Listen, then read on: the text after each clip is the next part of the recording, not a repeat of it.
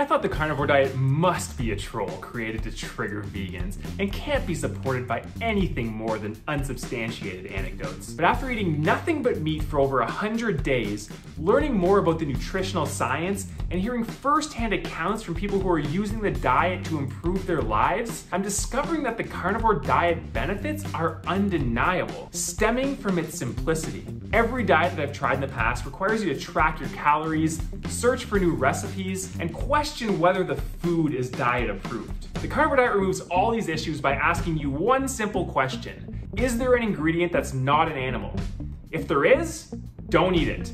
Otherwise, you're good to go. This binary choice dramatically reduces the amount of time you spend searching for recipes, shopping for food, and preparing your meals. The carnivore framework removes hundreds of variables from your diet, freeing your time and your mind for more important tasks. Every decision that we make drains our mental energy, causing decision fatigue, which can lead to our poor choices later on in the day. People like Steve Jobs, Mark Zuckerberg, and Barack Obama wear the same clothes every day so they don't need to spend their decisions on what they're going to wear. I must spend at least 10 times more energy deciding what to eat throughout the day than I do deciding what to wear in the morning. If eliminating wardrobe decisions can boost our performance, then eliminating dietary decisions can supercharge our minds. The simplicity of the carnivore diet provides cognitive benefits that become even more powerful when paired with increased vitamins and less toxins. Living things need to survive and reproduce, so animals develop physical traits to avoid predators, while plants develop toxic chemicals to defend against theirs. We know that most plants will harm us if we eat them, and if you don't believe me, then you can try going outside and making a salad from the first few trees that you find and report back. Our ancestors were likely victims of hundreds of different plant toxins before they found a select few that were edible. And just because we can eat these plants without getting sick or dying doesn't mean that there aren't other consequences. One we're probably all familiar with is the post-meal malaise. I always thought this was a consequence of eating too much food in a single sitting, but I never experienced this lethargy on the carnivore diet despite often eating more than 2,000 calories in a single meal. In just over one month on the carnivore diet, my productivity increased by over 17%. Even with a global pandemic requiring me to abandon my plans and shift my strategy, I was able to remain blissfully ignorant of all the mania around me and maintain an optimistic outlook. Improving my mental clarity and cognitive performance by eliminating eliminating plants and increasing animals might also explain why the carnivore diet benefits people with mental health and autoimmune disease. Many people are driven towards a carnivore diet to resolve their mental health conditions, from anxiety to depression, and to cure their autoimmune conditions, from vitiligo to arthritis. There are countless stories of people using a carnivore diet to cure their ailments. I'm fortunate enough not to suffer from any medical conditions that would help me verify these claims, but eliminating a food to cure disease makes sense. Some people's bowels explode if they eat gluten, while they're fine if they avoid it. Other people will die if they get too close to a peanut. How many other plant compounds are there that don't cause immediate reactions, but long-term ailments?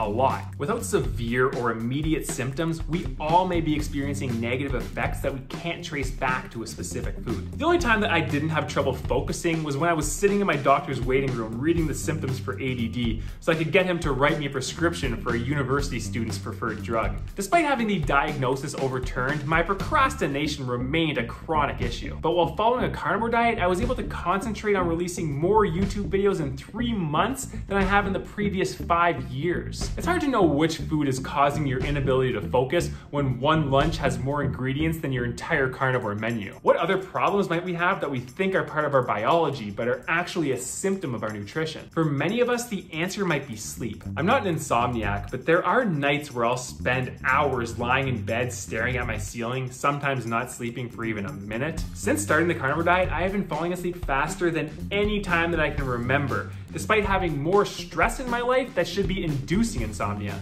There's only been one day in the past 100 where I spent more than five minutes with my head on the pillow before waking up and realizing it's morning. And that's probably because on that one day I was running an experiment to learn if I can infuse a steak with THC. The waking paranoia is a clue to the results. Instant sleep means I have to postpone my late night thoughts to the early morning, which might explain why I'm having more trouble getting out of bed. When I was a kid, I used to enjoy laying in bed at night, fantasizing about being a superhuman, flying around the universe, saving planets from from villains. The carnivore diet might not be enough to provide me with the superpowers of my fantasies, but it's getting me closer to the physique. Starting the diet at 11.5% body fat, I lost 14 pounds in less than a month, getting the most shredded I've ever been while eating as much as I want, whenever I want, as long as the only ingredient is an animal.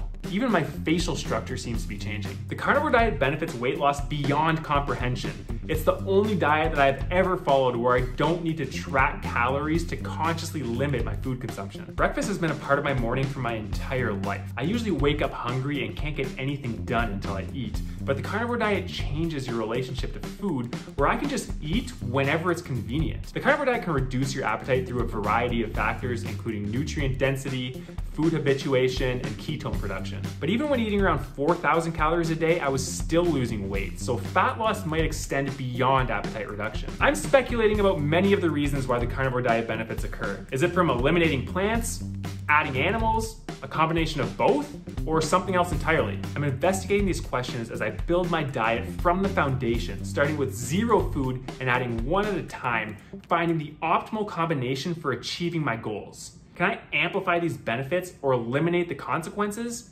Subscribe to find out. The carnivore diet has many benefits, but the biggest challenge, like with any diet, is sticking to it. And the best way to remain persistent is to connect with others on a similar path. If you want to find support for your health and fitness journey while supporting this channel, then you can sign up for the Patreon page, where you can receive access to an instant messaging and voice communication channel through an app called Discord. The page is still very new, so you'll be one of the first members, and you can message me or anybody else who joins, and I'm going to start hosting group calls where we can talk talk about our goals, I can answer any questions, and we can all support each other. If you want to join but you can't afford the monthly subscription, then send me an email and I'll give you an invite. Next week I'll release a video on the five biggest drawbacks of the carnivore diet, and I'll see if I can address these problems as I reintroduce foods. Thank you all for watching, and I'm excited to continue sharing this journey with all of you.